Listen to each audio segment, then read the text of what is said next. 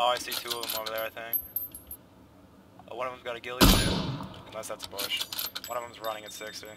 Just lay it down. Damn, how don't I see these guys?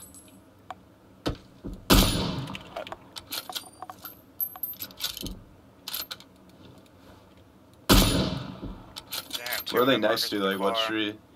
Um, it's like it's hard to describe it. Knocked out one of them. Damn. Oh, I see. I tagged the other one. Shit. Dude, I shot, shot this guy so many times in the car. I hit him again with the car.